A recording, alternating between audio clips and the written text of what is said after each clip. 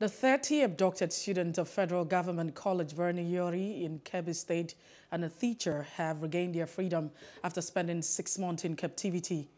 Special advisor on media to Kebbi State Governor Yahaya Sarki confirmed the release via a statement issued on Saturday.